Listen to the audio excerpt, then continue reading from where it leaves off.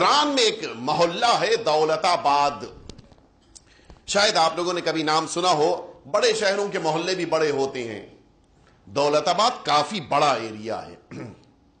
اتنا بڑا ایریا ہے کہ جس زمانے کا یہ واقعہ ہے، تقریباً آج سے کچھ چالیس والیس سال پہلے کا واقعہ، اس زمانے میں اس کی جو انجمن تھی، اس انجمن میں صرف جوان پانچ ہزار تھے۔ اتنا بڑا محلہ ہے۔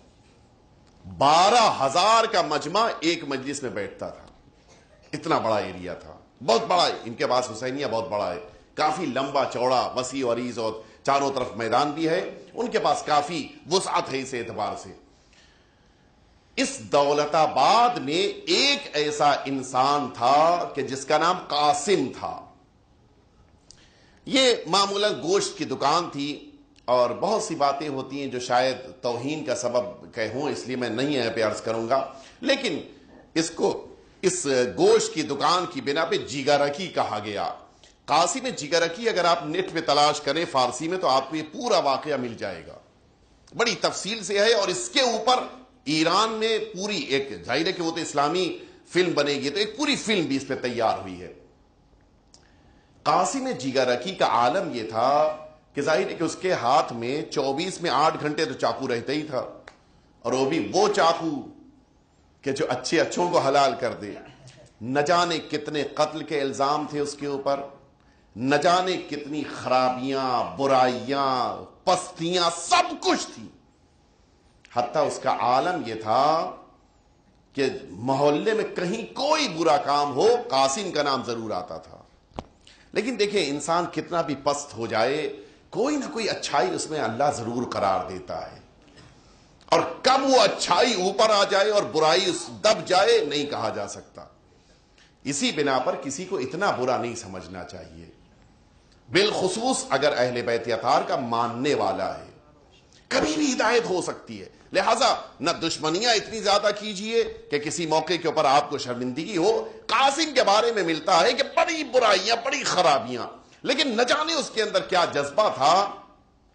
ادھر انتیس ذلحج آئی، محرم سے ایک دن پہلے۔ جاتا تھا، نہاتا، دھوتا تھا، کپڑے بدلتا تھا، صاف، پاک لباس پہنتا تھا، مسجد میں آتا تھا۔ اور آ کر نماز پڑھ کے اللہ سے کہتا تھا کہ خدا را اب میں توبہ کرتا ہوں، بارہ دن کوئی گناہ نہیں کروں گا۔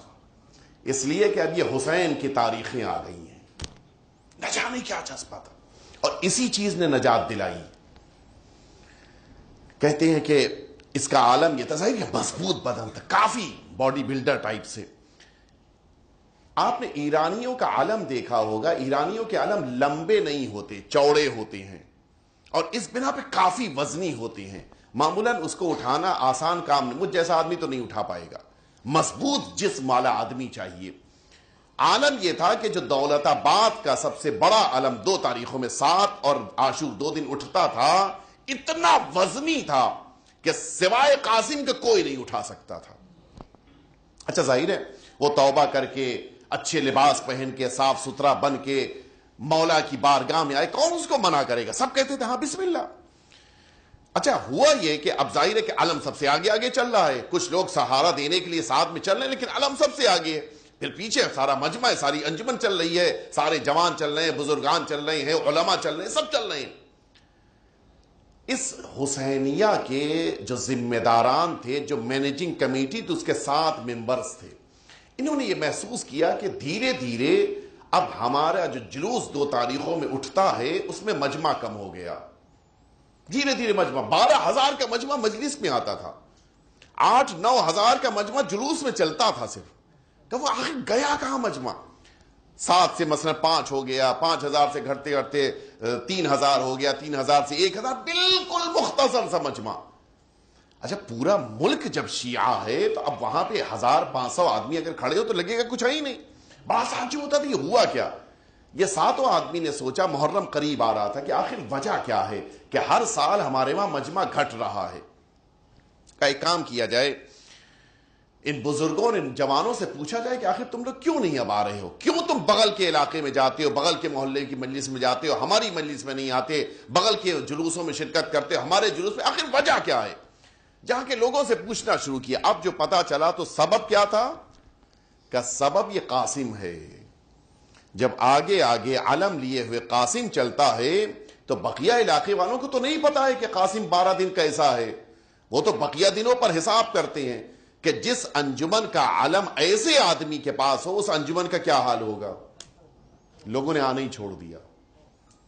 کہ ہم اس شرم کی وجہ سے بغل کے علاقے میں جائیں گے، یہاں نہیں آئیں گے۔ اچھا اب تو ظاہر سی بات ہے کہ اب یہ بات جب سمجھ میں آ گئی تو اس کا کوئی سولوشن کوئی حل نکلنا چاہیے۔ ان سب نے آپس میں طے کیا کہ کیا کیا جائے۔ کہ دیکھو، ایک ہی راستہ ہے۔ وہ راستہ کیا ہے؟ کہ قاسم سے چل کے بات کی جائے۔ آئے۔ دروازے پہ ساتوں آدمی آ کے کھڑے ہوئے، قاسم نکلا، خیریت کیا ہوا؟ بڑے احترام سے ایک دن پہلے اس کو انتیس کو توبہ کرنی ہے، اٹھائیس کا واقعہ ہے۔ ایک دن پہلے قاسم سے آئے ملنے کے لیے، خیریت کیا ہوا آپ لوگ؟ اچھا یہ وہ دن ہے کہ جو بدماشی والا دن ہے، اس لیے میں تاکیدن کہہ رہا ہوں۔ اب ابھی توبہ والا دن شروع نہیں ہوا ہے۔ خیریت تشریف لایا لے کے آیا، بڑے احترام کے ساتھ اندر لے آ کے بٹھایا، چائے لے کے آیا، خود اپنے ہاتھ سے پیش کر رہا ہے کہ بھائی، امام حسین کے حسینیاں اور امام بارگاہ کے خدمت گزار، وہاں کے ذمہ داران آئے ہیں، بڑے احترام کے ساتھ۔ اچھا انہوں نے آپس میں طے کر لیا تھا کہ قاسم کی ایک اچھائی ہے کہ وہ اگر کوئی بزرگ سفید داڑھی والا اس سے بات کرتا ہے تو بڑے پولائٹلی، بڑے احترام کے ساتھ، بڑے ہی اچھے انداز سے بات کرتا ہے۔ ان سات میں ایک بزرگوار تھے۔ طے ہوا تھا کہ بس تم ہی بات کرنا، ہم لوگ کی تو ہمت نہیں ہے۔ نہ جانے کس کو جھانپڑ مار بیٹھے، کس کو قتل کر دے، کیا پتا بھائی اس کا سب ڈرے ہوئے تھے۔ ساتوں آ کے بیٹھے ہیں۔ جب چائے وغیرہ ہو گئی تو اس نے مجھے خیریت حاجی اگر کیوں آپ لوگ تشریف لائے؟ فرمائے، بات کیا ہے؟ وجہ کیا ہے؟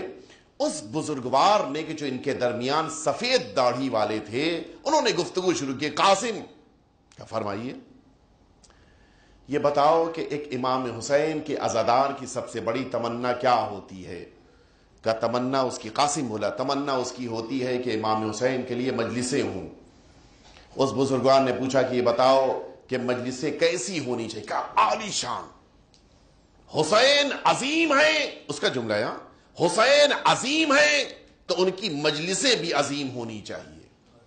دیکھیے، معرفت دیکھیے، کبھی کبھی گمراہ ہو جانے والے انسان بھی کس طرح سے ہدایت پاتے ہیں۔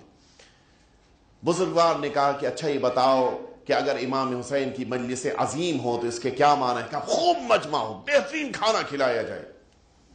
کہ اگر بہترین کھانا تیار کر لیا جائے لیکن مجمع نہ آئے تو کہ معلوم کیا جائے کہ مجمع کیوں نہیں آیا؟ کہ اگر یہ پتا چل جائے کہ یہ مجمع کسی ایک آدمی کی وجہ سے نہیں آیا کہ مجمع کو بلانے کے لیے اس ایک کو باہر نکال دیا جائے؟ اس بزرگوار نے کہا کہ قاسم تم نے خود ہی کہہ دیا۔ کہ کیا مطلب؟ کہ ہم یہی تمہیں سمجھانے آئے ہیں۔ تمہارے ایک کی بنا پر بارہ ہزار کا مجمع ایک ہزار پہ آ گیا ہے۔ صحیح کہہ رہے ہیں آپ؟ کہاں؟ چاہتے کیا ہے کہ پرسوں پہلی محرم ہے۔ ہماری تمنا یہ ہے کہ اس سال امام حسین کی مجلسوں میں تم نہ آنا۔ کہتے ہیں کہ قاسم کو ایسا لگا جیسے پیر کے نیچے سے زمین سرک گئی۔ دیکھیے، صرف ایک نجات کا ذریعہ اس قاسم کے پاس ہے۔ وہ امام حسین کی فرش ہے۔ بس، اور کچھ نہیں ہے۔ اگر اس سے یہ بھی لے لیا جائے، کیا اس سے بڑی کوئی مصیبت ہو سکتی ہے؟ کہتے ہیں، قاسم آنکھوں میں اشک لے کر سیدھا اندر داخل ہو، پھر نکلا ہی نہیں باہر۔ یہ لوگ سمجھ گئے کہ اب قاسم سے مزید کچھ بات کرنا مناسب نہیں ہے۔ یہ سب بھی جلدی سے باہر نکل آئے۔ بات ختم ہو گئی۔ اب ان کو تو نہیں پتا کہ گھر میں کیا ہوا۔ لیکن جب بچوں سے پتا چلا کہ جب پہلی محرم اچھا دیکھیے، انسان کی آبرو بھی کوئی چیز ہوتی ہے۔ لاکھ بگڑا ہوا انسان ہو، گھر میں اپنی ایک آبرو ہوتی ہے انسان کی۔ کچھ نہیں کہا اس نے۔ نہ اپنی سوجا سے کچھ کہا، نہ اپنے بچوں سے کچھ بھی نہیں بتایا کہ اس سال حسین نے اپنے حسینیہ سے ہمیں نکال دیا ہے۔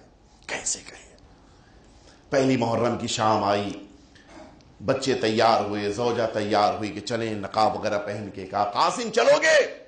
کہاں جا رہے ہو؟ کہا، امام باڑے جا رہے ہیں حسینیہ جا رہے ہیں کہ اچھا تم لوگ چلو، میں آتا ہوں۔ اب کیسے کہے کہ مجھ کو آج نہیں جانا ہے؟ مجھ کو روک دیا گیا ہے۔ کہتے ہیں کہ یہ سب جب نکل گئے بچے اور بیوی کہ میں، ہم آتے ہیں تم لوگ آگے چلو۔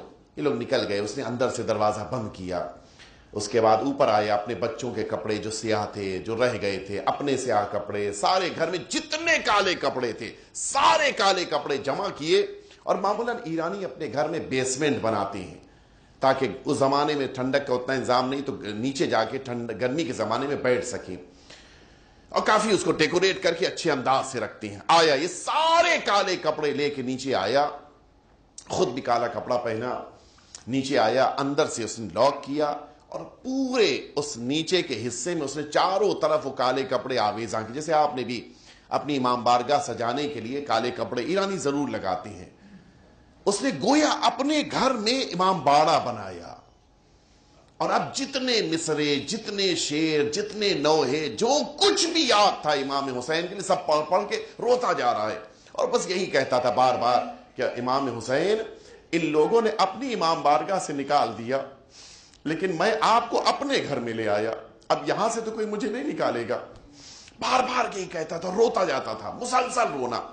کچھ دیر کے بعد اس کے بچے واپس آئے، یا آیا، اس نے باہر سے پھر لاک کر دیا اپنے اس نیچے والے خانے کو اور لاک کر کے اوپر آیا، دروازہ کھولا، بچے آ گئے۔ بات ختم ہو گئی، پہلی محرم گزر گئی، دوسری محرم بھی یہی ہوا، تیسری، روتا بہت تھا۔ عجیب اس کے دل میں، دیکھیے، دل سخت تھا۔ لیکن امام حسین کا غم اتنا زیادہ عظیم ہے کہ سخت دل والی آنکھیں بھی رونے لگتی ہیں۔ بہت روتا تھا۔ پانچ محرم آئی۔ سات محرم کو علم نکلنا ہے۔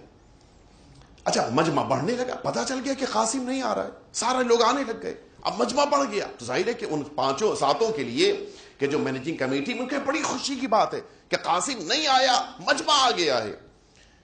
کہتی پانچ محرم جب آئی تو ان ساتوں میں سے ایک بڑا روتا ہوا دوسرے کے دروازے پہ آیا، دروازہ کھٹکھٹایا۔ جب دروازہ اس نے کھولا، گرد باہر نکلا، کہا، تم رو رہے ہو؟ کہیں بتاؤ تم بھی تو رو رہے ہو؟ کہ رات میں ہم نے حسین کو خواب میں دیکھا ہے۔ واقعہ بتاؤ؟ کہ نہیں، صرف تمہیں نہیں بتائیں گے۔ چلو، بقیہ جتنے ممبرز ہیں، سب کے پاس چلو، سب مل کے بیٹھیں گے، تب میں واقعہ بتاؤں گا۔ یہ ساتوں ایک ساتھ جب جمع ہوئے، ایک نے دوسرے سے، دوسرے نے تیسرے معلوم سب نے وہی خواب دیکھا ہے۔ رات میں حسین آئے، آنے کے بعد کہتے ہیں کہ تمہیں کس نے حق دیا؟ تم میری امام بارگاہ سے تم نے قاسم کو نکالا۔ جاؤ، اس سے معذرت طلب کرو اور اسے واپس لے کے آؤ۔ مجھے وہ دل چاہیے کہ جو قاسم کے سینے میں دھڑک رہا ہے۔ ساتوں نے طے کیا کہ چلیں، قاسم کے گھر چلیں۔ قاسم سے معذرت طلب کریں، قاسم سے کہیں کہ آج سے تم ہمارے حسینیہ میں آؤ، ہم تم سے معافی مانگتے ہیں۔ اب تم پر کوئی پابندی نہیں ہے۔ سنیں گے آپ، جس موقع کے اوپر قاسم کے گھر پہنچے، دروازہ کھلا ہوا تھا۔ پھر بھی ان سب نے جب دروازہ کھٹکھٹایا، بیٹا دوڑتا ہوا آیا، کہا، آپ لوگ آئے؟ خیریت؟ کہا، تمہارے بابا سے ملنے کے لیے آئے ہیں۔ کہا، جلدی چلیے، اگر چاہتے ہیں کہ بابا کو زندگی ملے تو جلدی آئیے۔ کیا ہوا؟ کہا وہ بیسمنٹ میں میرے بابا گئے ہیں۔ دیوار پہ سر اتنا پٹخا ہے کہ سر پھٹ گیا ہے۔ آئے اس ساتھوں آئے۔ قاسم، خیریت کیا ہو گیا؟ قاسم، سنیں گے آپ کیا جواب دیتا ہے؟ کہتا ہے، قاسم، رات میں حسین میرے خواب میں آئے تھے۔ اور جملہ مجھ سے کہتے جاتے تھے، قاسم، کیوں دل چھوٹا کرتے ہو؟ میں تم سے معذرت کر رہا ہوں، میں تم سے معذرت طلب کر رہا ہوں لوگوں کی طرف سے۔ اب تمہیں کوئی روکے گا نہیں، تم میری امام بارگاہ میں آؤ، تم میرے حسینیہ میں آؤ، تم آؤ اور آ کر مجلس کرو، تم ہی الگ اٹھانا۔ قاسم کیوں پریشان ہوتے ہو؟ میں تمہارے ساتھ ہوں۔ یہ کہتے کہتے قاسم کہتا ہے کہ یک بار کی حسین نے مجھے دیکھا اور دیکھنے کے بعد میرے آقا کہتے ہیں کہ قاسم کیا یہ بات مناسب ہے کہ تم میرے عباس کا علم اٹھاؤ اور انہی ہاتھوں سے گناہ کرو؟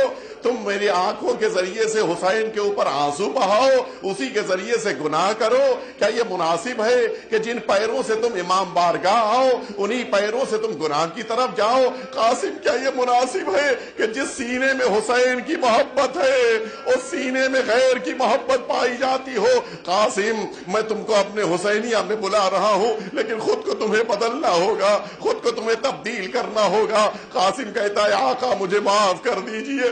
اب میں ایسے گناہ نہیں کروں گا۔ آقا، اب ایسی کوئی تقسیم مجھ سے نہیں صادر ہوگی۔ ہاں قاسم نے خود معذرت طلب کر لی۔ آقا نے معاف کر دیا۔ کہتا ہے کہ میں سر دیوار پہ اسی لیے پٹک رہا ہوں کہ مجھ جیسا انسان کے جو سب سے پس ہے، اس سے ملنے کے لیے حسین آئے، اس سے ملاقات کے لیے آقا حسین آئے۔ سنو گے ازاداروں محرم کی پانچ تاریخ ہے۔ رات میں قاسم کو لایا گیا، سر پہ پٹی بندھی ہوئی ہے۔ سارا مجمع احترام کر رہا ہے۔ اس لیے کہ حسین کی بارگاہ میں اس نے توبہ کیا ہے۔ سات محرم کو علم اٹھایا، لیکن ایک جملہ کہتا جا رہا تھا، حسین، جب آپ نے اپنا بنا لیا ہے، تو پھر مجھے اسی دن موت دے دیجیے گا۔ جس دن آپ کو شہادت ملی ہے، یہی دعا کر رہا تھا۔ آشور کا دن آیا۔ صبح آشور اس کے اوپر غشی تاری ہوئی۔ کچھ ہی لمحات کے بعد دنیا سے رخصت ہو گیا۔ کہتے ہیں، جب اس کا جنازہ اٹھا، وہ عصر عاشور کا وقت تھا۔ کہ جب حسین کا جلوس بھی نکل رہا تھا، پیچھے پیچھے قاسم کا جنازہ گزر رہا تھا، پورا دولت آباد جمع تھا۔ ہر ایک ہاتھوں میں پھول لیے ہوئے، قاسم کی لاش کے اوپر ڈال رہا تھا، کہا یہ جا رہا تھا، یہ حسین کا آزادار ہے، یہ حسین کا عاشق ہے، یہ حسین کا جانسار ہے۔ مجھے ایک جملہ کہنے دیجیے، حسین کا عاشق اگر عصر عاشور کے ہنگام میں اس کا جنازہ اٹھے تو چاہنے والے پھول برساتے ہیں۔ ارے ہائے کربلا! اصل آشور کے انگام میں جب سہرہ کلا ڈلا پشت دلجنا پہ ڈگمگا رہا تھا، کوئی تلوار مار رہا تھا، کوئی نیزہ چبو رہا تھا، کوئی تیر برسا رہا تھا۔ ارے جس کے پاس کچھ نہ تھا، وہ چولیوں میں پتھر لیے ہوئے۔ Thank you,